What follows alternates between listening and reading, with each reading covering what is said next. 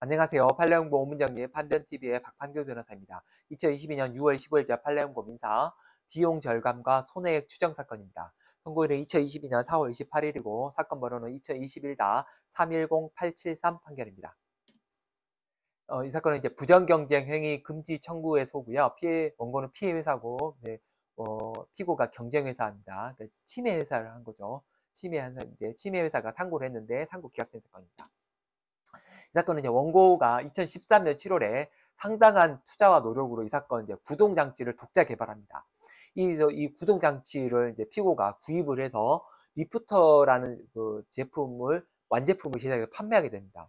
그러면서 이제 이 원고가 피고한테 이 리프터라는 완제품에 대한 안전 인증을 위해서는 서면 심사를 해야 되니까 도면을 달라고 요청을 합니다. 그래서 원고가 이제 그 제공을 하게 된 거죠. 도면을.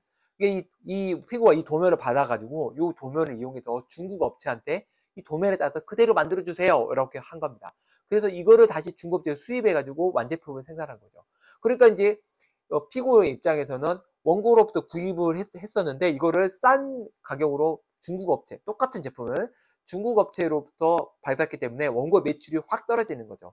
그래서 피고가 부정행위 금지 청구 및 손해배상 청구를 하게 된 겁니다. 문제는 이겁니다. 이런 부정경쟁 행위에 있어서 가장 큰 문제가 뭐냐면 손해액 입증이 어렵습니다. 그래서 부정경쟁 방지법에 보면 손해액을 추정할 수 있게 됩니다. 추정.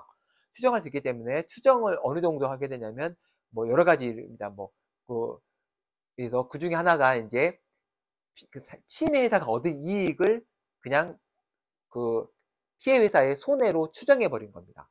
이런 것도 가능하죠. 매출이 뭐 침해한 이전과 이후로 비교해 매출이 이만큼 증가했다. 그러면 그것도 그냥 손해이라고 해버리는 거죠. 이 촌의 추정 시에 입증 책임이 문제가 되는데 대법원 뭐라고 하냐면 부정경제 방지법상 침해 행위로 인한 이익에는 제조 비용을 절감한 경우에 비용 절감으로 인한 이익도 침해자 이익으로 포함될 수 있다. 그러니까 그처럼 침해자 이익이 보통 판매 증가 아니면 뭐 남의 제품을 무단으로 사용해서 판매한 그 판매 대금 전체가 다 이익이 될 수가 있는데 그런 이익들을 때 추정해 버리는 거죠. 그런데 이 사건에서는 부품 하나만 지금 문제가 된 거예요. 그러니까 그렇다면 비용 절감으로 한 이익, 그러니까 원고로부터 뭐 100만 원에 살 수, 사야 됐다면 중국 업체로부터 한 20만 원에 샀다면 80만 원의 비용 절감이 발생했기 때문에 그 80만 원의 이 비용 절감 이익을 치매자 이익으로 보고 그거를 손해로 추정할 수 있다는 겁니다.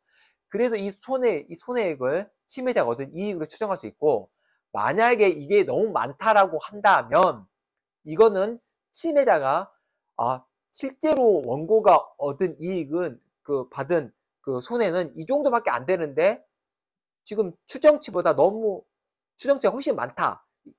많다. 이렇게 하려면 침해자의 그, 그 피해 회사의 실제 손해액을 침해자가 입증해야 된다. 요거입니다. 입증책이 반대되는 거죠. 원래 손해는 피해자가 입증을 해야 되는데 이렇게 부정경제 방지법의 추정 규정에 의해서 이 실제 손해액을 피, 가해 회사, 가해자 측이 입증을 해야만 추정을 뒤집을 수 있다는 겁니다. 그러니까 결국은 이 사건에서는 어, 비용 절감 이익을 추정 피, 그 피해자의 손해로 추정을 했고 그게 너무 많다라고 주장한다면 가해 회사가 실제 손해를 입증을 해라. 입증 못했으니까 그냥 추정한 걸로 그대로 인정할 수밖에 없다. 그래서 그 상고 기각을 하는 거죠. 이 부정 경쟁 행위를 인정을 할 경우에 결국 이 손해액의 인정이 굉장히 어렵습니다. 그래서 추정 규정이 굉장히 강력한 영역, 그 효력을 발휘하게 되는데 이때 이 추정을 뒤집으려는 방법은 실제 손해를 입증하는 거고 그거는 추정을 뒤집으려 하는 쪽 추정을 뒤집으려 하는 쪽이 실제 손해를 입증해야 된다. 그러니까 결국 이게 침해액이 너무 많다라고 하면 가해자가 입증해야 되고 추정치가 너무 적다라고 한다면 실제 입은 손해를 뭐 원고가 뭐 입증할 수도 있고 뭐 여러 가지 했어요. 어쨌든 추정을 추정 규정에 의해서 어 손해액이 입증이 됐, 인정을 했다면 그 추정 규정을 보다 많다라고 주장하는 쪽이 실제 손해를 입증해야 되고 적다가 한 쪽이 실제 손해를 입증해야 한다. 이 둘 다 마찬가지인 거죠. 그래서 이거는 부정경제방지법에서 침해 추정 규정이 있다는 거 그리고 추정 규정을 뒤집으려면 실제 손해를 뒤집으려는 쪽이 입증해야 된다. 요것은 기억해 주는 게 좋을 것 같습니다. 이상 마치겠습니다. 감사합니다.